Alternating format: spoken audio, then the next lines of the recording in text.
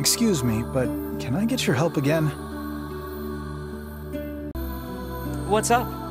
People are finally tiring of sardine pasta, and I'm fresh out of ideas for new dishes. You seem pretty well traveled for a kid. So if you run into any interesting recipes during your journeys, could you let me know? Well, I don't have much of an eye for cooking, but sure, I'll see what I can do. Thanks so much. Recipe ideas, huh? Maybe we can find a cookbook somewhere. Wait, is this a book of recipes? Most seem to require rather exotic species of fish. Yeah, I haven't even heard of some of these. Let's go tell the tavern keeper about it. Hey, so I found a cookbook in the library with some recipes that might interest you. Really? Uh, Let me take a look. Shark?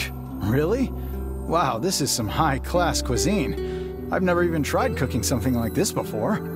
Still, shark fin fried rice sounds amazing. Think you could help me track some down? You can eat shark fins? Man. Anyway, sure. I didn't come this far just to quit now. Wonderful. In that case, here's the shopping list. Five sharks, five bags of rice, and five mushrooms. Oh, and thanks in advance.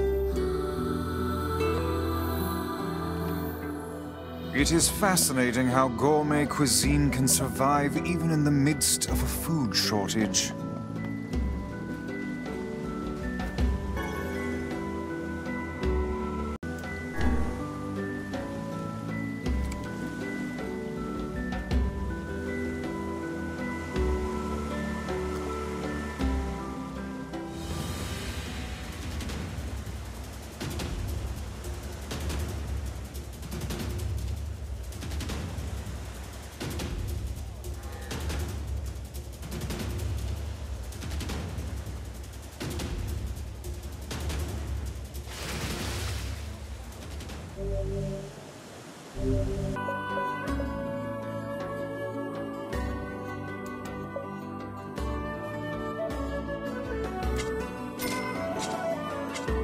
Thanks for your business.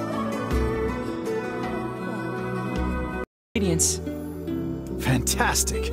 Let's see how this tastes.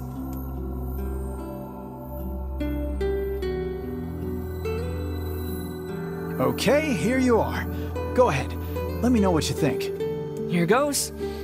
Well, This is fantastic. I've never had anything like it.